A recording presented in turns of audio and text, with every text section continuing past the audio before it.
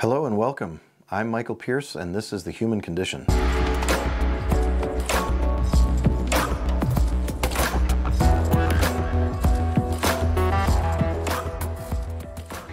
Today we're talking about SNPs and mutations. It turns out that humans can inherit mutations from either parent, and we can test for this by testing a swab of your mouth or by testing blood. Now, certainly the blood is more accurate. Many people do things like 23andMe or other, other types of, of um, companies out there that charge anywhere from $200 and up to assess your genes and give you a, a list of all your, of your genes.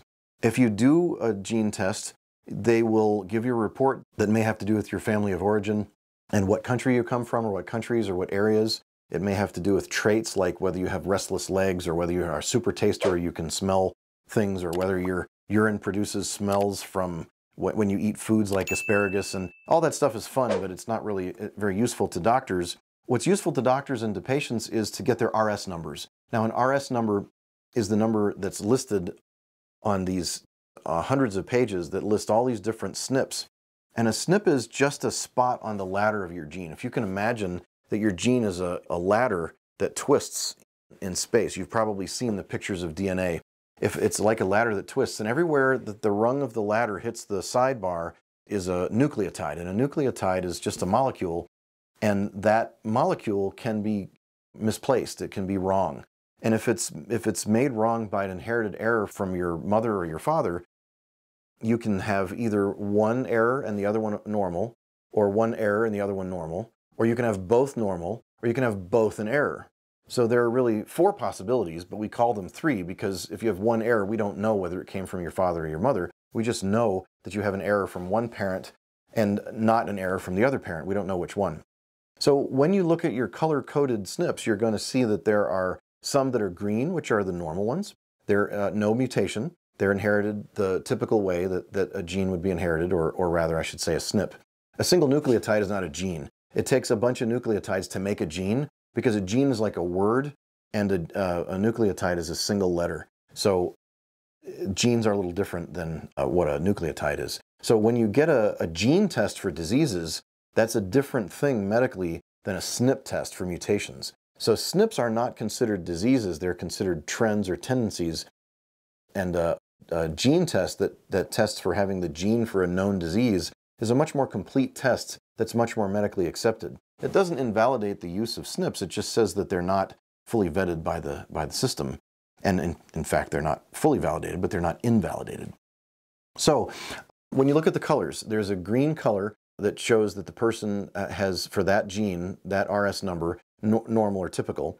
Then there's a yellow color that's often used and pretty, pretty standard, and that means you have one mutation. The next one would be the, where for that particular nucleotide pair, that rung across the ladder of DNA, you inherited two mutations, one from each parent. That would be slightly worse, typically. Now, I don't want people to be scared by, by looking at their gene report and seeing a bunch of red and saying, oh, I'm, this is terrible, because genes are not necessarily turned on at birth genes can be, uh, genes and SNPs may be turned off at birth and they may turn on later. So if you've inherited a bad SNP or a bad gene of any kind, they may not be triggered unless you get exposed to toxins, to chemicals, to poisons, to deficiencies of nutrients, to high levels of stress, or even trauma and impact can set off genes. We talked earlier about the dystonia gene and how the dystonia gene can be turned on or triggered by a trauma, literally a head trauma triggers the gene to turn on for dystonia, and a person begins to have that contracture.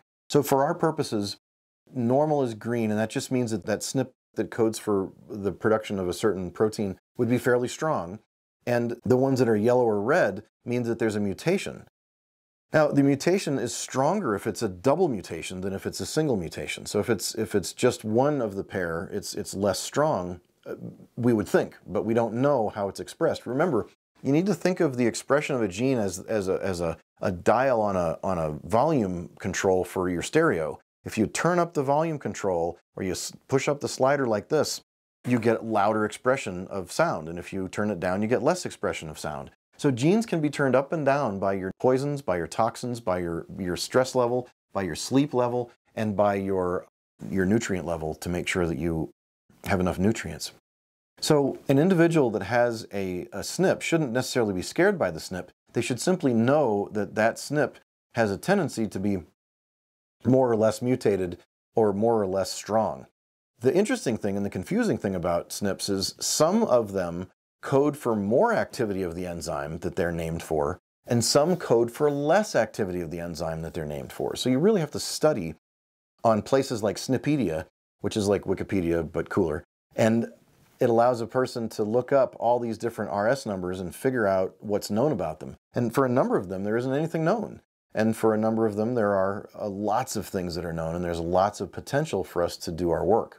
Now, my biggest pet peeve about SNPs and the people that work with SNPs is that sometimes they do one SNP. The most famous one, of course, is the MTHFR SNP, and they do that one SNP on a blood test and they make decisions about your whole life and your supplements based on one little thing. Now, I don't like that hyper focus. I think that's not a smart idea. I think they need to expand their focus and, and look at the human from 30,000 feet and consider that all of the different genes with methylation have something to do with each other. And an individual that has a few SNPs, more than one or two, and maybe they're not that bad. Maybe none of them are red. Maybe they're just yellow. Maybe they're uh, only one mutation and not two mutations. If you were to look at a biochemical chart of methylation and of these different pathways that we're dealing with for the individual that have to do with mental health, that have to do with neurotransmitters, that have to do with detoxification of sex hormones, the patient may discover that much like the map of a city, they've got areas that were taken out of the city, areas of, that were taken out of their genes. And so if you look at this biochemical pathway, much like the map of a city, it's almost as though someone had strategically bombed their city and taken out strategic parts of that city. And so in that way, with very little ordnance, someone could take out a, a city and make it very uh, not very productive in, in wartime. And so that analogy for um, for SNPs is, is also true. A person, when you when you back up and look at their whole picture of SNPs, might have a number of SNPs that are not very bad each, each one, but altogether they add up to a really, really bad combination that might lead a person to depression or anxiety or sulfur intolerance or buildup of uh, stress hormones or buildup of, of toxic uh, chemicals because of a problem with the glutathione pathway. They might have problems with homocysteine. There's a whole number of things that could happen. So trying to think about SNPs as individual things is just not the way to go in my opinion. I think we have to look at them as an orchestra working all together just like the microcosm of a city. When we are addressing SNPs, we want to address the vitamins and minerals that are important for recovering from, from SNP problems. If you decide and, and to do a SNP test and you discover that you've got a number of SNPs that are not so good for you, there are lots of resources that are free and that are under $30 to upload your SNP data and get a report online. And many of them will tell you similar things. They're not all the same, but many of them will tell you similar things that, that say, you should up this B vitamin, or you should decrease this B vitamin. You should take minerals. You should take lithium. You should take magnesium and, and potassium. You should take zinc. There are a number of advices that are out there regarding taking GABA and GABA support and L-theanine.